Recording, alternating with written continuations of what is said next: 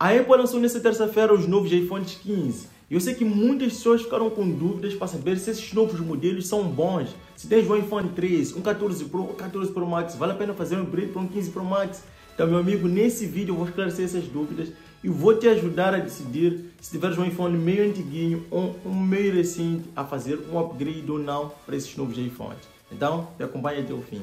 Olá meus amigos, sejam bem-vindos a mais um vídeo do meu canal AC Technology. Eu chamo Adolfo Xangaro, o criador do canal AC Technology. O vídeo de hoje vai ser mais um bate-papo onde eu vou te ajudar a decidir a melhor opção mediante os novos iPhones. Aí Apple já lançou o seu carro-chefe para este ano 2023 e 2024.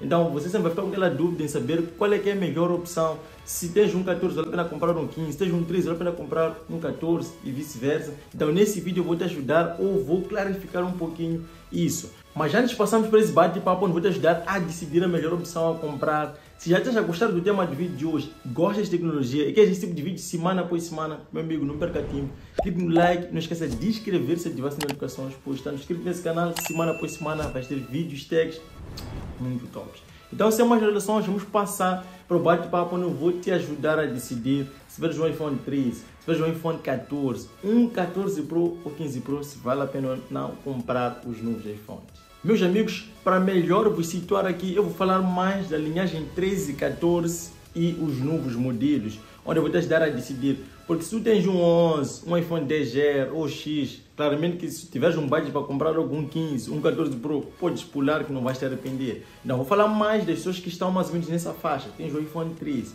Até posso mencionar ou tocar um pouquinho do 12. Tens um 12 ou 13 e 14. Será que vale a pena ou não migrar para esse? Então primeiro falar dos mais básicos, vou entrar nos pros.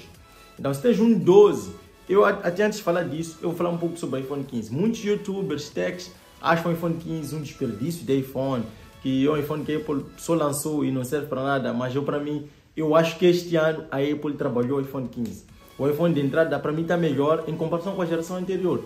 Vamos analisar o iPhone 13 e 14, analise, vamos analisar juntos. O iPhone 13 e 14 são praticamente parecidos. Se tu tens o iPhone 13 e 14, eu pego, somos dois só olhar ali. Primeiro, o design é o mesmo. Tem o mesmo notch, tem a mesma traseira, tudo é, é praticamente parecido. E mesmo as câmeras eram 12, 12, 12 megapixels. Então o processador era basicamente o mesmo. Pensa, embora vocês diziam que ah, o processador de 14 era 13 Pro, mas era o 15 a 15. Então a diferença era mesmo muito mínima. Então o 14 e 13 não tinha muita diferença. É por isso que eu dizia, até anos atrás, se tu tens um 11, tu tens um 12, então, mil vezes até ir para um 13, em 2014 seu budget não chega para pagar um 15. Então, podes pagar ali um 13, porque 13 é super top. E para mim, um 13 e 14 não tem muita diferença. Muitos youtubers dizem, ah, não, mil vezes para 14. Não. Então, agora eu vou falar um pouquinho sobre o iPhone 15. E eu sempre vou dizer, para valer um smartphone, as coisas mais básicas são três. Câmera, processador e RAM e bateria. São as coisas mais cruciais, porque as demais coisas são preferenciais. Design é algo preferencial, uma outra feature é algo preferencial. Mas essas três coisas todo mundo precisa. De uma boa câmera, para poder fazer suas filmagens, tirar boas fotos com, boa, com pouca luminosidade ou muita luminosidade, tanto faz. Um bom processador que vai correr por muito tempo e vai ser bem veloz, nunca vai travar, o iPhone não trava, obviamente. E bateria. Quanto mais for a bateria, melhor. Os iPhones já não tem essa forma de péssima bateria.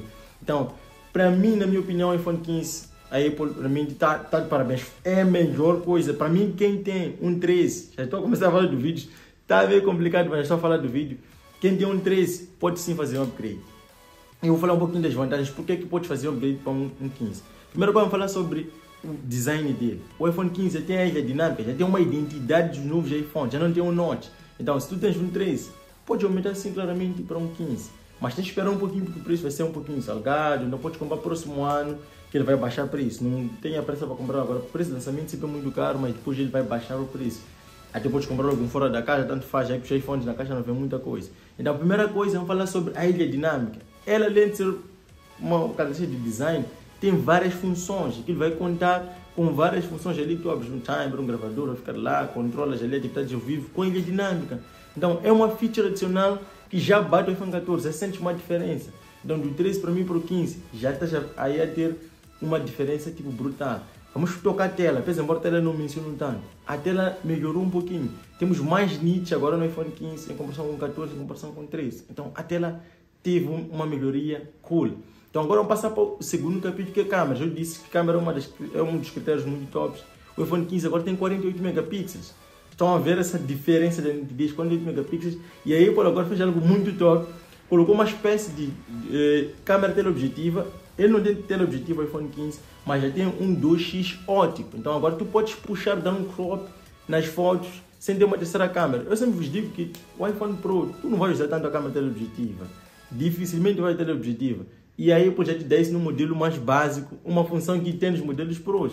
Man, o iPhone 15 já está nice. A câmera dele está bem melhor. Então quem tem um 13 vai ter um upgrade muito superior. Então a câmera está muito boa. Está muito boa. Não tem como reclamar. Não tem como reclamar. Processador. O iPhone 15 tem processador do iPhone 14 Pro. Já está mais do iPhone 15, do iPhone 13, do iPhone 14. Os dois têm i15 para um A16. Man, o desempenho vai ser fabuloso. E tal. O número de atualizações vai ser fabuloso. Quem tem um iPhone 13, tem um iPhone 12, pulando para um 15 não vai se arrepender. Vai ser algo realmente muito top. E bateria, Apple não falou muito de bateria, mas segundo os leakers que acertaram muita coisa, eu acredito que a bateria do iPhone 15 vai ser muito grande. Nós vimos ali diferença de por aí 500 mAh.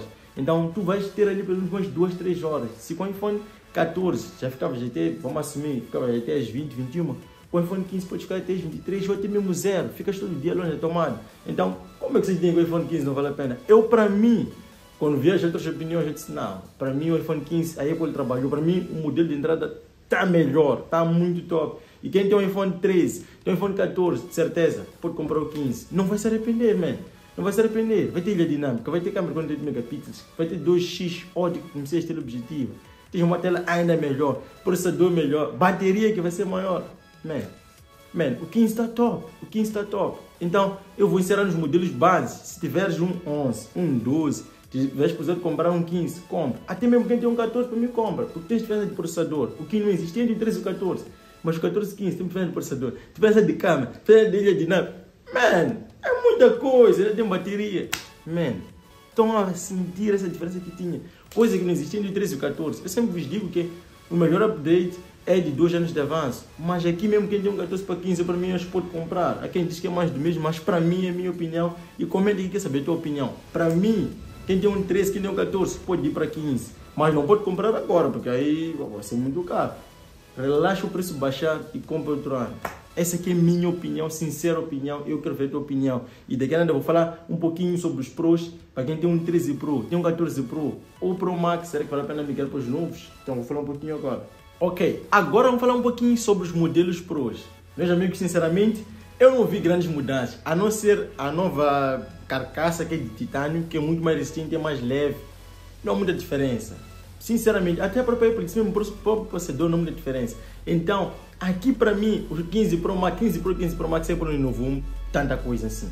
Eu até esqueci de falar do USB-C para o iPhone 15, que vai ser mais rápido, vai permitir usar muitos dispositivos. Pode usar o cabo do Mac, o teu iPad para carregar o teu iPhone. Então, um cabo pode fazer muita coisa em simultâneo. Então, esqueci de mencionar isso para o iPhone 15.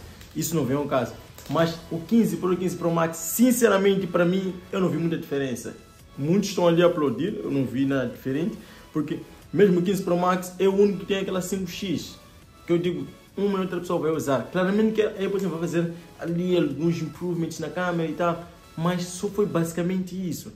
Foi basicamente, vamos, vamos dizer, a construção, que é titânio, que mudou, botão de ação, que eu não sei, quem vai usar, porque há coisas que tu não usas sempre. Exemplo, aquele mesmo botão de switch, tu se iniciava o celular, depois esquecias e só quando vias que o celular está no viva voz, podias tirar ali do switch e tal. Então, não usavas tanto. Esse botão vais usar, mas não sei se vais usar tanto, não sei. Comenta aqui se vais usar o botão de ação, aquelas, aqueles comandos todos e tal. Vais comentar aqui.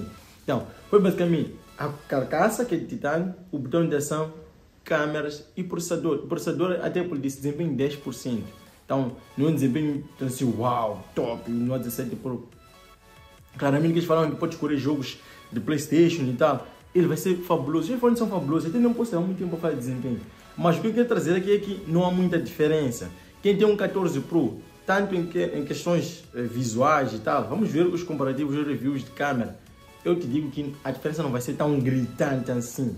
Real talk. Não vai ser tão gritante. Então, para mim, quem tem um 13 Pro Max ainda para mim mil vezes comprar 14 Pro, para 14 Pro Max. Quem tem um 13 Pro, mil vezes comprar 14 Pro. Já pode esperar, como lançou-se o 15 Pro Max, os preços dos demais baixarem e o próximo ano compra o 14 Pro Max. Ou se tens um, um 13 Pro, compre um 14 Pro.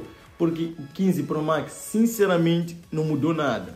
Não mudou nada. É só a nova carcaça, o botão de ação, mas não mudou basicamente muita coisa. Eu não sei se vão me condenar. Essa é a minha opinião, essa é a minha análise como youtuber tech. Não estou muito tempo de estrada aqui, obviamente, mas segundo a minha análise, o meu conhecimento de iPhones, essa é a minha opinião. Para mim, quem tem um 13 Pro Max, quem tem um 13 Pro, veja tipo um 14 Pro, um 14 Pro Max, poupas muito dinheiro em vez de comprar os novos iPhones. Nem que espere eles baixarem o preço, para mim não vale muito a pena. Vale muito a pena. Então, meus amigos, essa aqui é a minha opinião em relação aos novos iPhones. Se tiver um iPhone antigo, já sabes. Nos modelos básicos, tens a minha opinião. Nos modelos Pros, também tens a minha opinião.